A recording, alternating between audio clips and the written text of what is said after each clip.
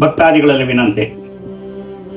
ನಮ್ಮ ಬಳಿಯಲ್ಲಿ ಒಂದು ವಿಚಾರವನ್ನ ಪುನಃ ನಾನು ಹೇಳೋದಕ್ಕೆ ಇಚ್ಛೆ ಪಡ್ತೇನೆ ಮತ್ತು ಆಸೆಯನ್ನು ಪಡ್ತೇನೆ. ಯಾತಕ್ಕೆಂದ್ರೆ ನೀವು ಎಲ್ಲೋ ಇರ್ತೀರಿ, ಈ ದೇವಸ್ಥಾನ ಕೆಲವೇ ನಿಮಗೆ ಗೊತ್ತಿಲ್ಲ ಅನ್ನೋ ಕೆಲವು ಭಾವನೆಗಳು ಇರ್ತವೆ.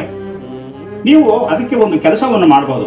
ನಿಮಗೆ ಆ ಶಕ್ತಿ ಏನು ಅನ್ನೋದು ಗೊತ್ತಾಗಬೇಕಾದ್ರೆ, ಒಂದು ಅರ್ಶನದ ಬಟ್ಟೆ ಚೌಕಾಕಾರವಾಗ ಒಂದು ಬಿಳಿ ಬಟ್ಟೆ ತಗೊಂಡು, ಆ ಬಟ್ಟೆಯನ್ನು ನೀರಿನಲ್ಲಿ ಹದ್ದಿ ನೆನೆಸಿ ಅರ್ಶನ ಸೌರಿ ಅದಕ್ಕೆ ಅರ್ಶನದ ಬಟ್ಟೆಯನ್ನು ಮಾಡ್ಕೊಳ್ಳಿ. ಆ ಏನ್ ಮಾಡ್ಬೇಕು ಅಂದ್ರೆ ಒಂದು ಬಿಳಿ ಕಾಗದವನ್ನು ತಗೊಂಡು ಅದರಲ್ಲಿ ನಿಮ್ಮ ಕಷ್ಟಗಳೇನಿದೆ, ಅದನ್ನೆಲ್ಲ ಬರೀರಿ ಅದ್ರೊಳಗಡೆ ಬರೆದ ನಂತರ ಆ ಚೀಟಿಗೆ ನೂರ ಒಂದು ರೂಪಾಯಿ ಕಾಣಿಕೆ. ಕಾಣಿಕೆಯನ್ನ ಆ ಬಟ್ಟೆಯಲ್ಲಿ ಮತ್ತು ಆ ಪೇಪರ್ನಲ್ಲಿ ಅದನ್ನ ಸುತ್ತಿ ಅದ್ರ ಒಳಗಡೆ ಕಟ್ಟಿ ಅದನ್ನ. ಅರ್ಶನದ ಬಟ್ಟೆಯಲ್ಲಿ ಕಟ್ಟಿ ನಿಮ್ಮ ಮನೆಯಲ್ಲಿ ನೀವೇ ದೇವ್ರ ಪೇಟ ಮಡಗಿದ್ದೀರೋ ದೇವ್ರ ಸೇವೆ ಇದೆಯೋ, ದೇವ್ರ ಫೋಟೋಗಳಿದೆಯೋ, ಆ ಫೋಟೋದ ಹತ್ರ ಹಿಂಭಾಗದಲ್ಲಿ ಮಡಗಿ, ಅಮ್ಮ ನಾನು ಈಗ ಬರಕ್ ಆಗ್ತಾ ಇಲ್ಲ. ನನ್ನ ಸೇವೆ ತುಂಬಾ ತೊಂದರೆ ಆಗ್ತಾ ಇದೆ. ಇದನ್ನ ನಾನು ನೆರವೇರಿಸ್ಕೊಟ್ರೆ ನಾನು ನಿನ್ನ ಕಾಣಿಕೆ ಸಮೇತ ಬಂದು ನಿನ್ನ ನಾನು ಸೇವೆ ಮಾಡ್ತೀನಮ್ಮ. ಅದನ್ನ ಅಂತೇಳಿ ಆ ನಿಮ್ಮ ಮನೆಯಲ್ಲೇ ಕಾಣಿಕೆಯನ್ನ ಕಟ್ಟಿ ಅದನ್ನ ನೀವು ಸೇವೆ ಮಾಡ್ತಾ ಬನ್ನಿ. ದಿನ ಕಳೀತಾ ಕಳೀತಾ ಕಳೀತಾ ನಿಮಗೆ ಆದಷ್ಟು ಜಾಗೃತಿಯಾಗಿ ಆ ಮಹಾತಾಯಿ ನಿಮ್ಗೆ ಅನುಗ್ರಹ ತೋರಿಸ್ಕೊಡ್ತಾಳೆ.